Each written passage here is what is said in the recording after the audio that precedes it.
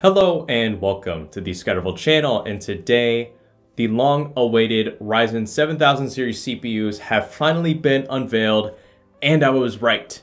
Do you guys remember that video I posted not too long ago rumoring about the potentially expensive future of PC gaming? Well let's talk about that and everything else you need to know about these new Ryzen 7000 series processors. So once again, just like the Ryzen 5000 series launch, the cheapest entry-level CPU from AMD to get into this new ecosystem, a part of these new Ryzen CPUs on the AM5 socket will cost you $300.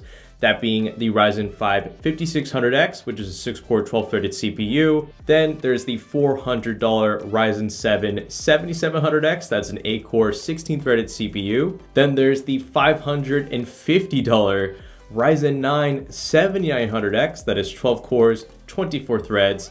And then topping out the lineup is a $700 Ryzen 9 7950X. So if we were to do the math and this one screenshot that AMD provided stating that their B650 motherboards will start at $125, a Ryzen 5 7600X is going to cost you 300 plus a $125 B650 motherboard, which may not be all that good in the first place if it's like an ASRock HDV motherboard, plus a 16 gigabyte DDR5 RAM kit, which is gonna run anywhere from 80 to 100 bucks, will put you at about $500 to enter this new ecosystem from AMD.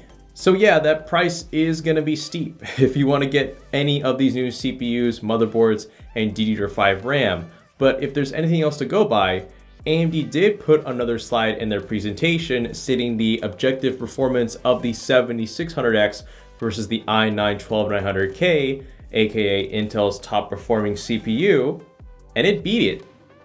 Admittedly in F1 2022, which is very much a CPU-based benchmark game, but still, is that $300 7600X going to be faster than a $500 16-core i9 processor in most games.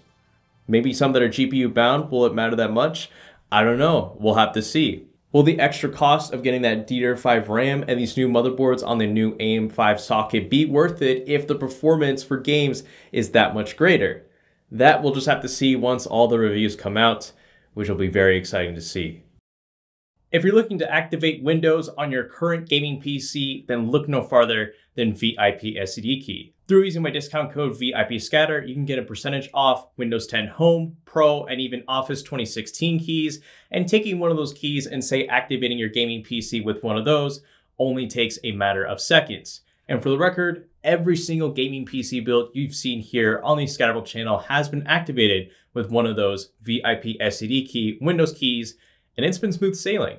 So if you want to take advantage of the savings possible through VIP SCD key for your software, then go ahead and check out the link in my discount code at the top of the description.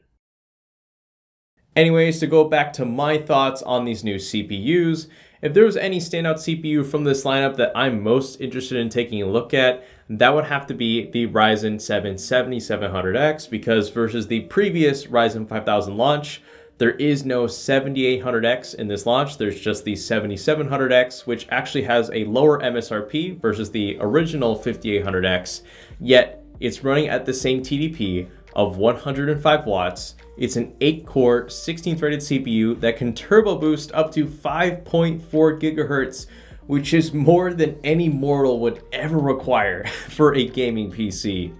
And again, it costs $400. And I don't see the need to go to a crazy top of the line 7900X or 7950X because those will require a lot more wattage and the extra performance you could gain may not be worth it for the power draw that you're requiring to power those monster CPUs. So I think the 7700X could be the sweet spot in this lineup of CPUs. Now let's get back to the budget realm and stop kind of drooling over specifications. Why is AMD not releasing any affordable Ryzen 7000 CPUs a part of this launch, like their original Ryzen 1000 launch and Ryzen 3000 launch? Well, as we saw with the Ryzen 5600 and 5500 earlier this summer, if those chips released at the same time as the other Ryzen 5000 chips way back in 2020, there would be no need to buy a 5600X, and there probably wouldn't be a need to get a 5800X, because the realistic gaming performance of the Ryzen 5 5600 was really good for the money. And for most use cases, it was perfectly fine for a lot of gamers. But, you know, just to make the most amount of profit margins for these new CPUs, of course, AMD is gonna withhold those lower end CPUs and just give us the mid to higher end CPUs to make a lot of money, which in terms of business, you're gonna have to do that, obviously, given all the research and development AMD poured into engineering these new chips.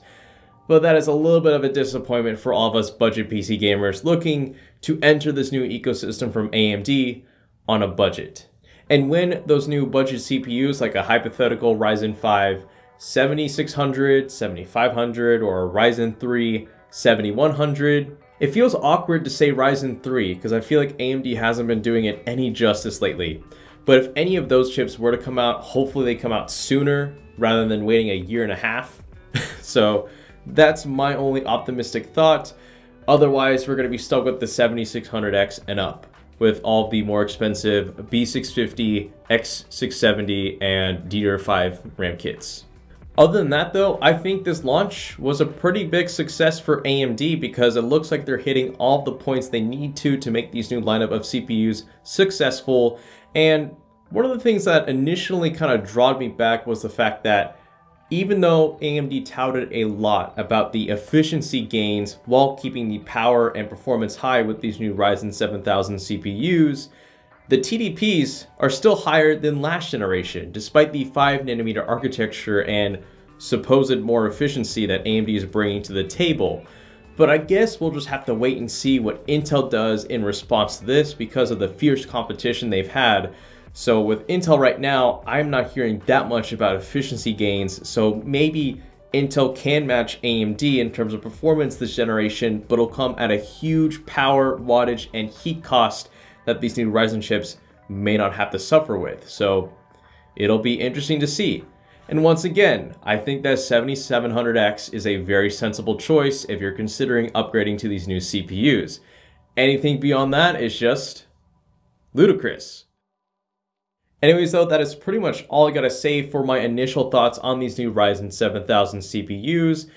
I'm looking forward to getting my hands on them, hopefully. I don't know if I'll get review samples, I probably won't because I haven't really been uploading much, but I'll shoot my shot with the agency that runs those reviews with those AMD chips and see where we get. But even if I don't get any, I expect maybe at least a 7600X in the studio here because I do want to get my hands on these new chips and see how much faster they are versus the older generation being on DDR5 and these new motherboards. It's all going to be very exciting to see. So if you enjoyed my rambling, you might want to consider subscribing and liking this video. That would be very appreciated amongst all the other Ryzen 7000 content that's been plaguing your recommendations and inboxes. But yeah, other than that though, again, thank you a lot for watching and this is the ScatterVolt channel signing out.